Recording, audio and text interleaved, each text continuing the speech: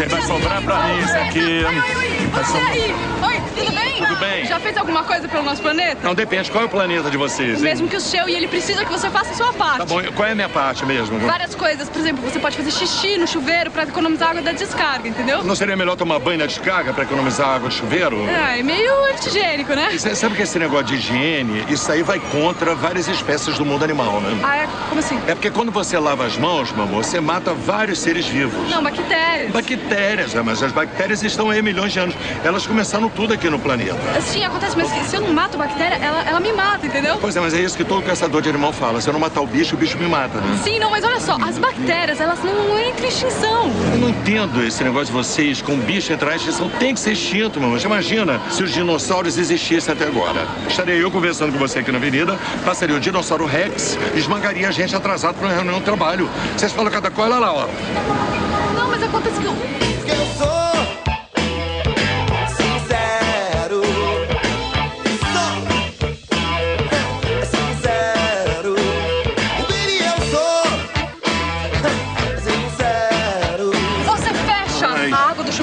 passa shampoo no cabelo? Não, meu amor, eu fico morrendo de frio, não tenho tanto cabelo assim que essa economia toda possa valer a pena. Tá, se todo mundo pensar assim, ninguém faz nada, cara. Mas se todo mundo tremer ao mesmo tempo, vai causar um terremoto. Terremoto, terremoto, furacão, tsunami, tudo isso é a natureza se vingando do bicho homem. Olha, eu acho muito estranho esse argumento de vocês, né? Porque, por exemplo, aqui no Brasil não tem vulcão, não tem terremoto, não tem tsunami. Isso significa o quê? Que o brasileiro é bonzinho?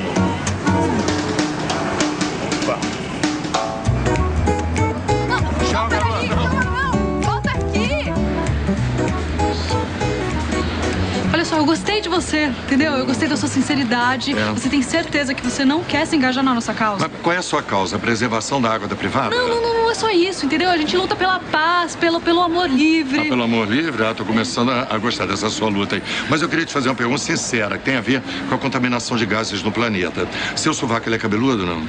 Qual é? Isso não é da sua conta. Se a minha privada é da sua conta, seu sovaco é da minha conta. Custa mostrar? vamos? É que eu conheci uma alemã que ela tinha um estufinho saindo aqui, parecia bigodinho de Hitler. Nós transamos, depois a contaminação era tão grande que em vez de acender um cigarro, acendia um charuto. Dá uma piscada é uma coisa super sincera, né? Eu acho muito capageste. Não, mas ser cafajeste é ser sincero, né? Você não acha?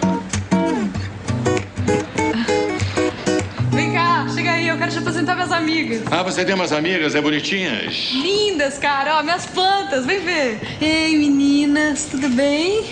Como é que foi o dia hoje? Olha só, sinceramente, eu não vejo nenhum problema em você conversar com as plantas. Eu mesmo agora acabei de esculhambar uma árvore que amassou o para-choque do meu carro. O problema é se você ouve as plantas responderem de volta. Você ouve? Pô, claro, você acha que eu falo sozinha? Não, claro que não. Desde quando você é maluca, né? Tá aí, cara. Desde quando a maluquice a gente se comunicar com a natureza, entendeu? Ó, os bichos, eles falavam com o seu Francisco de Assis. Mas peraí, vem cá. Os bichos falam com você? Não, eu não sou tão maluca assim. Ah, tá.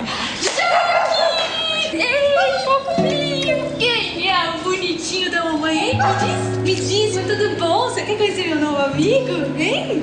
Hein, vai lá, vai lá, vem.